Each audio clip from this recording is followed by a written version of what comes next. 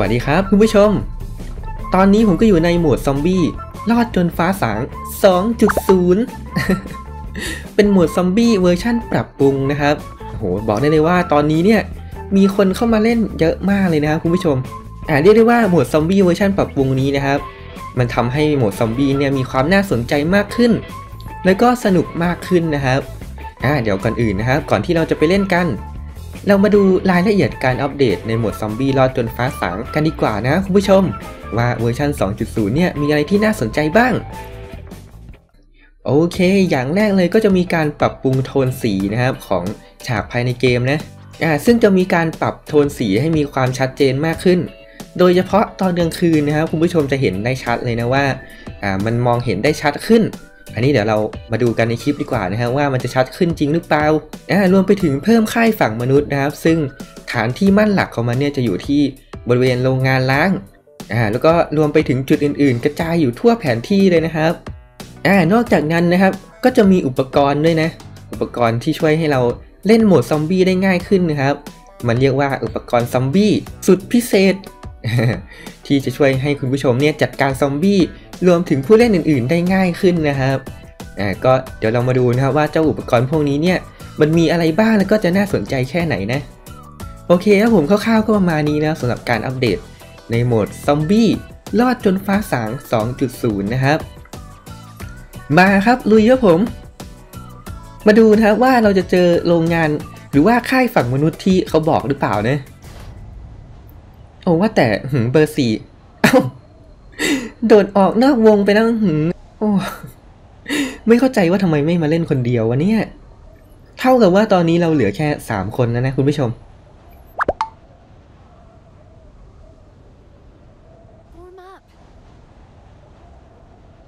เอ้า นี่ไงเจอแล้ว นี่ครับโรงงานค่ายฝั่งมนุษย์นะครับมาดูนะครับว่า เหล่ามนุษย์ที่อาศัยอยู่ในโรงงานนี้เนี่ย จะโหดสักแค่ไหนแล้วก็รูปร่างหน้าตาของมันเนี่ยจะเป็นยังไงนะว่าแต่นี่มันโรงงานฟักทองนี่ดูกิ๊กก๊อกไม่น่ากลัวเลย โอ้โห โอเค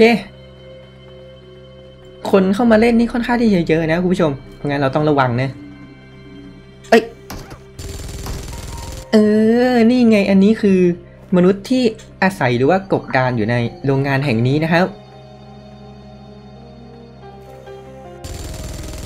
ก็จะเป็นเหล่าตัวตลกนะเนี่ย แต่ว่ามันไม่โหดนะคุณผู้ชมมันยิงเบาๆเองอะเอออื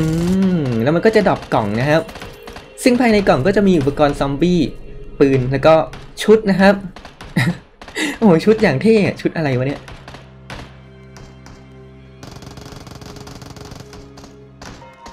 โอ้โหมียาด้วย ถือ AK แต่ยิงโคตรเบาโถ่เอ้ย เก็บปืนมาก่อน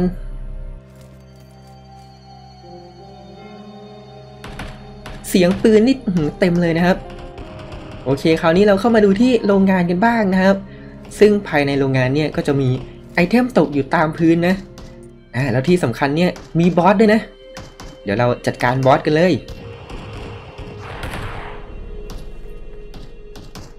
อ้านี่มันเจ้าอีทนี่ เจ้าอีทมันโผล่มาจากเครื่องบิน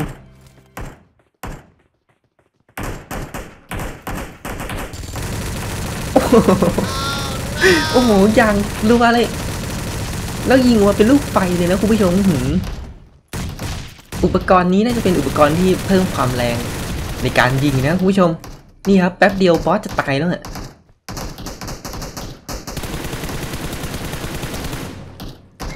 โอ เคลองอุปกรณ์นี้ดู ชึบเป็นการสตันซอมบี้นะครับ โอ้โห เจ้าอีทของเราเนี่ย ถึงกับงง เอออะไรวะเนี่ย โอเค โอ้โห ปืนเยอะมาก เฮ้ย มีชุดแดริวให้เราเก็บด้วยนะคุณผู้ชม อ่า แต่ไม่เอาดีกว่า ใส่ชุดนี้ดีกว่า โอ้โหมันเรียกว่าชุดยิ้มสยองนะเนี่ย อันนี้เป็นหมวกยิ้มสยอง โอเคครับผมเรียบร้อยนะครับ คราวนี้เราก็ทำการฟาร์มในโรงงานเลย มาดูนะว่าในคลิปนี้เนี่ยผมจะสามารถเอาชีวิตรอดจากโหมดซอมบี้รอดจนฟ้าสาง2.0 ได้หรือเปล่านะครับคุณผู้ชม อยู่บนนี้แหละ ปลอดภัยสุดละ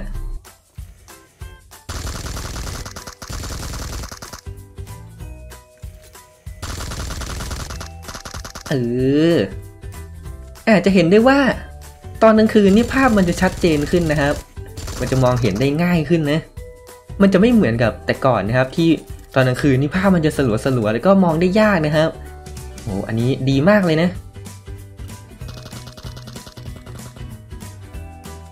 นี่ครับคุณผู้ชม มองเห็นได้ชัดเจนแจ่มแจ้งเลยนะ เป็นตอนกลางคืนที่สว่างมากเลย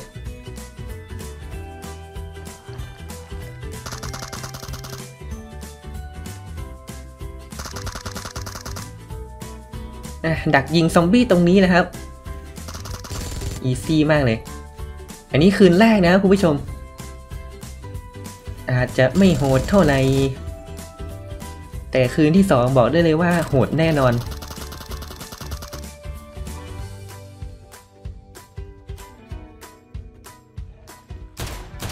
โอ้โห เดซ e ร์ t อีเกิลแรงใช้ได้นะคุณผู้ชม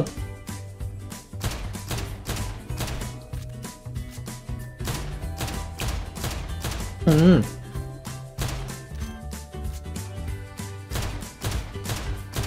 โอ้โห แรงมาก เป็นปืนพกที่บอกได้เลยว่าแรงที่สุดในเกมนะครับตอนนี้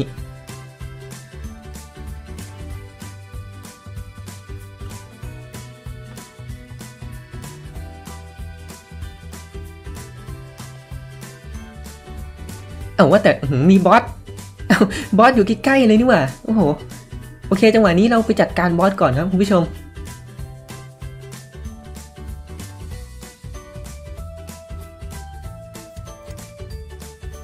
โอ้โห แล้วตอนนี้เหลือ 17 คนเท่านั้นนะครับ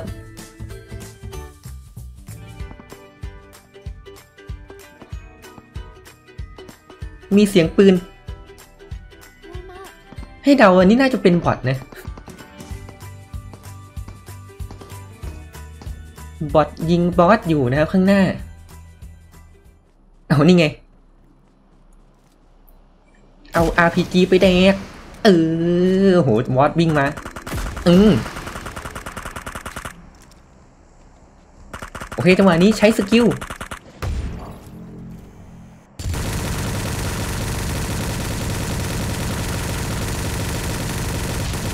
โอ้โหบอสถึงกับวิ่งหนีโหดเกิน ตูมเอื้อเรียบร้อยหือถึงกับเละ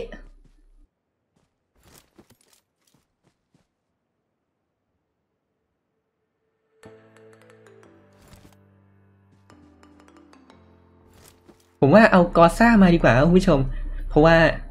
มันมีคนเข้ามาเล่นค่อนข้างที่จะเยอะนะครับ ถ้าใช้มินิกันนี่มันจะสู้ลำบากนะว่าแต่สโคป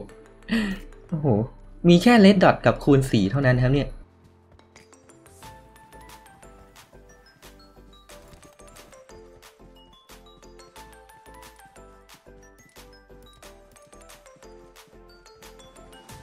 กระสุนนี่เหลือเฟือมากเลยนะคุณผู้ชม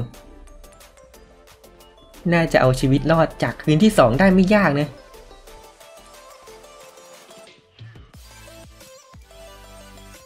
เฮ้ยเดี๋ยว มีคนเอ่อน่าจะเป็นบอทนะเอ้านี่ไง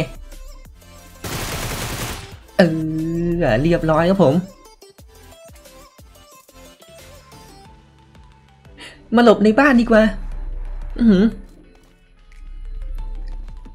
ที่สองนี่บอกได้เลยว่าโหดแน่นอนนะคุณผู้ชม เพราะงั้นเราควรหาที่หลบ เช่นบ้านอะไรพวกนี้ไว้ก่อนเลยนะ โห digger digger มาแล้ว โอเค ใช้สกิลครับจังหวะนี้ ยิงรัวๆเลย อืม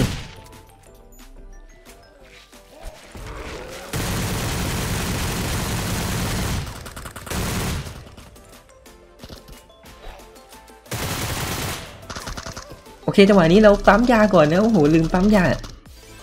ปั๊มยาน้ำอะไรพวกนี้ให้เรียบร้อยก่อนนะครับ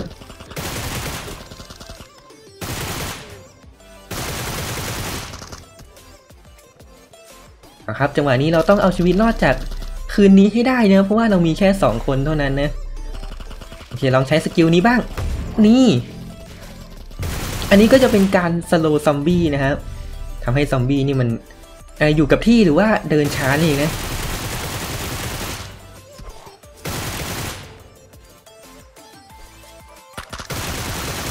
อืมโอ้โห มาเรื่อยๆ ไม่หมดสักที magazine ซูเปอร์เทพ เพิ่มขนาดความจุของปืนจาก 30 เป็น 60 นัดเลยทีเดียว โอ้โหโคตรโกงเอ้าเดี๋ยวเดี๋ยวซอมบี้โผล่มาแล้วเริ่มโหดขึ้นเรื่อยๆแล้ว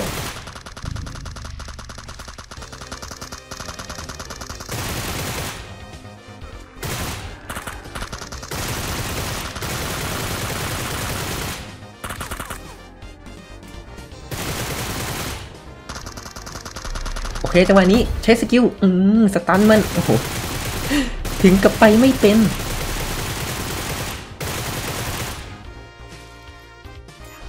บอกได้เลยว่าพอเรามี skill หรือว่าอ่าอุปกรณ์ซอมบี้เนี่ย มันก็ทำให้เราแบบเล่นได้ง่ายขึ้นเยอะเลยนะ แล้วที่สำคัญเนี่ยมันสามารถใช้กับผู้เล่นที่เป็นศัตรูของเราได้ด้วยนะครับ ไม่ได้ใช้ได้แค่กับซอมบี้เท่านั้นนะ ยังไงคุณผู้ชมนะครับ ก็ลองมาเล่นกันได้นะครับ มันสนุกขึ้นจริง ๆ นะครับสำหรับโหมดซอมบี้และที่สำคัญเนี่ยคนก็เล่นเยอะด้วยนะ อืมโอ้โห ไม่หมดสักที เมื่อไหร่จะเช้าวะเนี่ย เมื่อไหร่จะเช้า โอเค เช้าแล้วเช้าแล้ว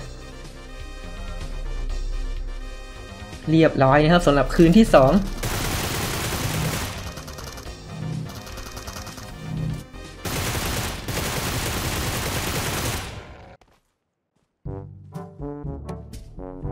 ราวนี้ก็เหลือแค่คนแล้ว เหลือแค่ คนเดียวเท่านั้น มาลุ้นนะฮะว่าคนสุดท้ายนี่จะเป็นคนหรือบอทนะเอาข้างหน้าอันนี้มันคนนะเนี่ย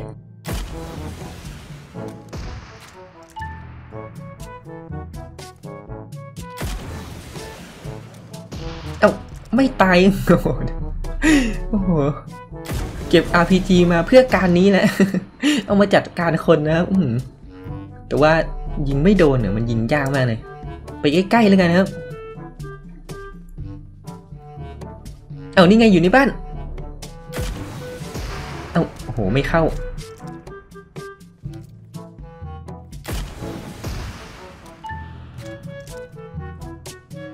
โดนหรือเปล่าไม่รู้นะ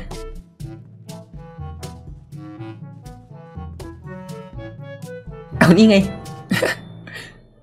อืมตูมแตกเละเลยทีเดียว โอเคครับผมเป็นยังไงบ้างครับสำหรับโหมดซอมบี้รอดจนฟ้าสาง 2.0 บอกได้เลยว่ามันมีอะไรที่เข้ามาเยอะแยะมากมายนะครับทำให้เราเล่นโหมดซอมบี้ได้สนุกมากยิ่งขึ้นนั่นเอง ยังไงคุณผู้ชมก็มาลองเล่นกันได้นะครับ โอเคครับผมก็สำหรับในคลิปนี้ผม CRKZ TV ก็ต้องขอตัวลาคุณผู้ชมไปก่อนนะครับ ยังไงถ้าชอบก็ฝากกดไลค์กด Subscribe ให้ผมด้วยนะบายบายจ้า